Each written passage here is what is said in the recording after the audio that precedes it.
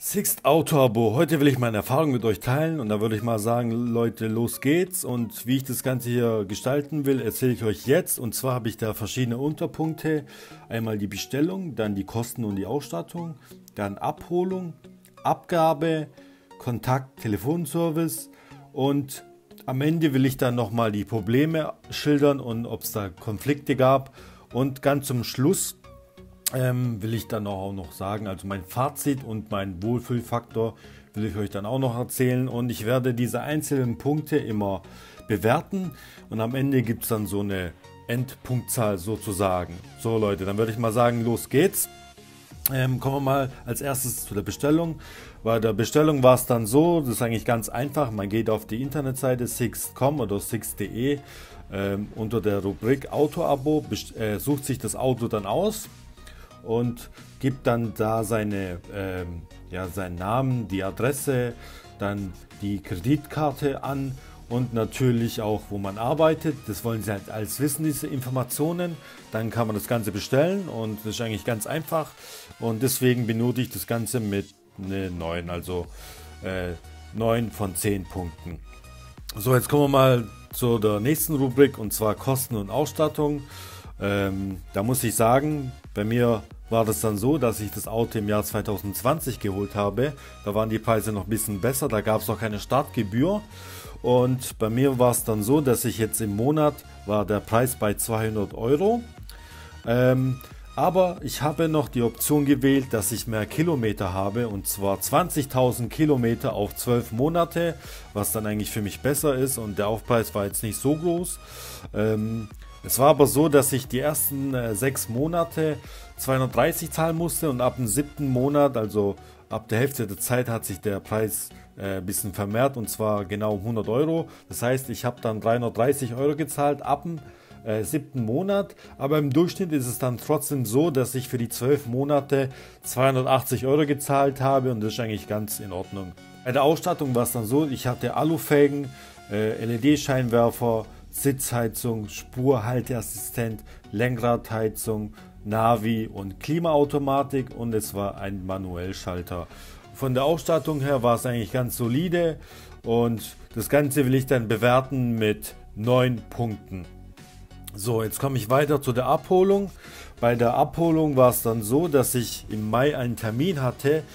Anfang Mai 2020, der wurde leider gecancelt, weil das Auto noch nicht äh, bereit war. Und das war schon ein bisschen ärgerlich für mich. Ähm, dann bin ich halt eine Woche später hingegangen. Dort angekommen war es dann wieder so, dass das Auto nicht da war, obwohl ich schon da war. Dann habe ich mich ein bisschen darüber aufgeregt, weil die Leute das mir auch vorher sagen können, dass das Auto noch nicht da war. Und äh, dann habe ich mit dem Mann geredet, ob ich da einen Ersatzwagen bekomme. Ich muss sagen, der Mann war sehr, sehr unfreundlich. In Stuttgart-Weingen war das Ganze. Ähm, dann hat er mich erstmal eine halbe Stunde dort warten lassen. Und dann hat er gesagt, ja, du kriegst diesen Van, mit dem kannst du nach Hause fahren und morgen dann wiederkommen, weil das Auto dann morgen da ist.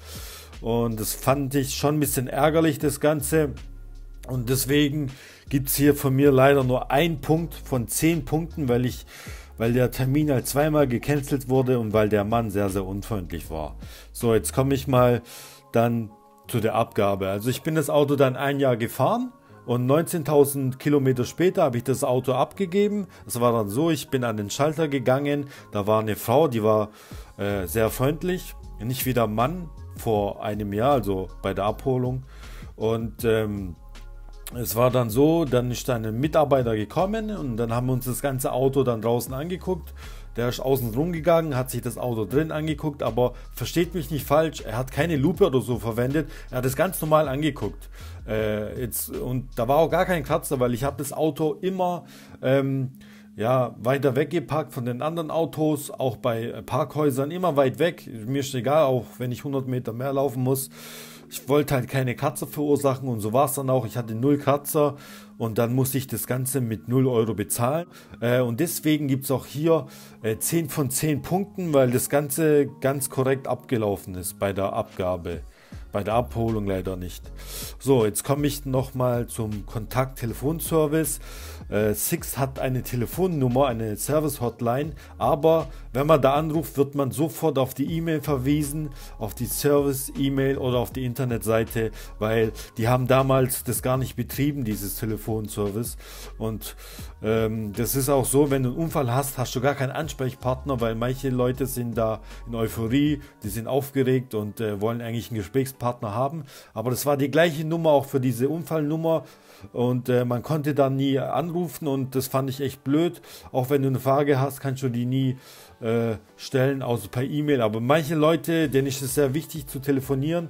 Mir war es dann auch wichtig und deswegen gibt es hier nur einen Punkt. Eigentlich null Punkte müsste es geben, aber ich gebe hier trotzdem einen Punkt, weil man mit E-Mail ja noch hier Kontakt haben kann. Also ein von zehn Punkten. So, jetzt komme ich mal äh, zu dem Problem und zu den Konflikten. Nach drei Monaten war es dann so, dass Six einfach 1000 Euro äh, von mir abgezogen hat und ich wusste aber nicht warum. Dann habe ich denen eine E-Mail geschrieben und die haben gemeint, die haben einen Fehler gemacht. Die haben gedacht, dass ich die ersten drei Monate gar nichts gezahlt hätte und dann haben sie das auf einmal eingezogen, was aber nicht der Fall war. Es war einfach ein Fehler im System, fand ich dann auch ein bisschen ärgerlich, dass die einfach eigenmächtig mein Konto hier belasten mit 1000 Euro. Ein Problem war ja noch mit der Abholung, dass ich da zweimal äh, versetzt wurde. Und natürlich den Telefonservice, was ja dann auch nicht gegeben war. So Leute, jetzt komme ich mal zu meinem Wohlfühlfaktor und zu dem Fazit. Also bei mir war es so, wo ich das Auto bestellt habe, habe ich natürlich erstmal geguckt im Internet nach Erfahrungen.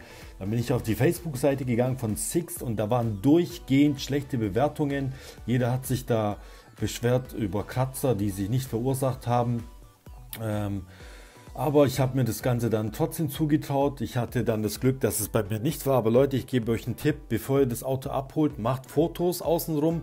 Bei der Abholung auch. Dann kann eigentlich sowas nicht passieren. Dann seid ihr immer auf der sicheren Seite, auch rechtlich, weil ihr dann Beweismittel habt. Weil jetzt ein paar Sachen hier passiert sind bei der Abholung, dass ich da zweimal versetzt wurde, dass der Mann so unfreundlich war.